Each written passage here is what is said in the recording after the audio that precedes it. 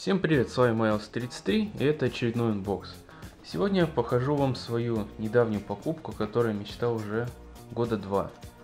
И это PlayStation Vita. Я подумал, что пару дней поработать ради этой консоли можно. Поработал, нашел на Авито объявление и купил. К сожалению, досталось без оригинальной упаковки синенькой, но и так тоже неплохо. В комплекте у нас PlayStation Vita Slim. Она в отличном качестве, единственное тут маленький скольчик, но он никак не влияет на работоспособность. Ее посмотрим чуть позже. Также у нас в комплекте идут карты виртуальной реальности, которые э, раскладываешь на столе либо на полу, где вам удобно. И с помощью вот этой камеры э, она их распознает и можно играть в различные игрушки, я знаю, там Diving и много других. Там Invisimals, ну там уже другие карточки поддерживаются. Вот такая интересная штука появилась. Примерно такая вещь PlayStation Portable. Там был Invisimals, был iPad, и он распознал различные карточки с, кар... э, с видеокамеры, которая продавалась отдельно.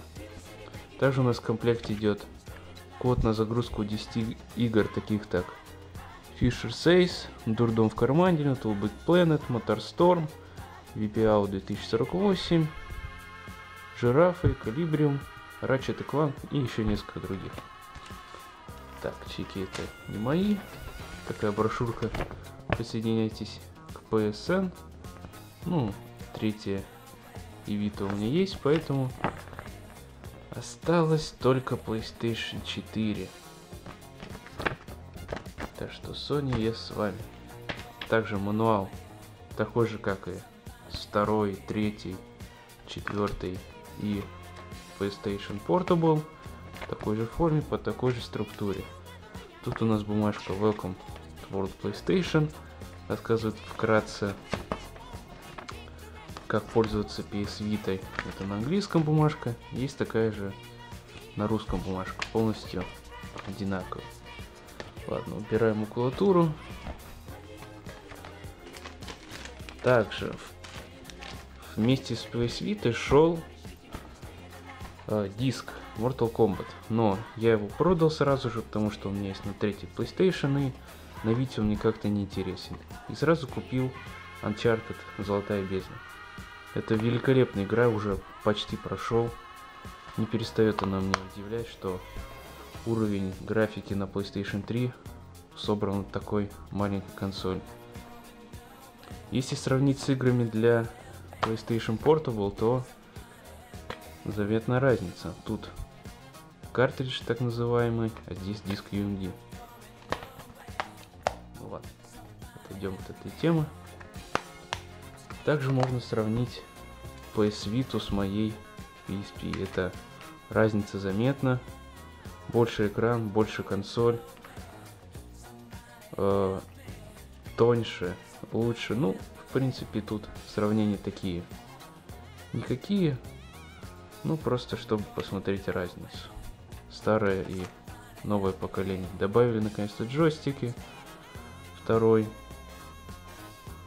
и стало все лучше. Давайте включим.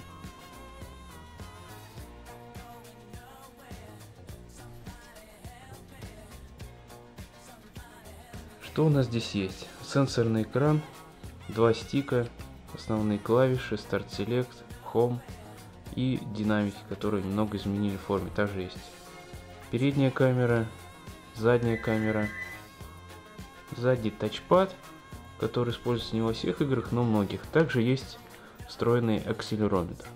В основном на PS Vita все ориентировано на работу с сенсорным экраном, то есть в главном меню легче всего э, управлять именно пальцами, нежели стиками, пока тут все доберется, это уже пройдет много времени.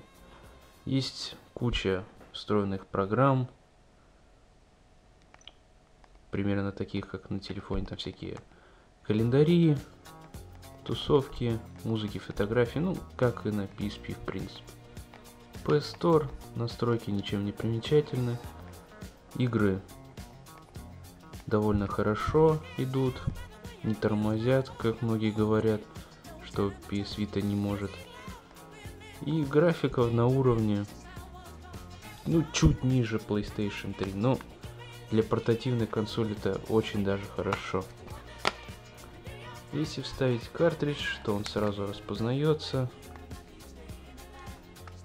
Uncharted.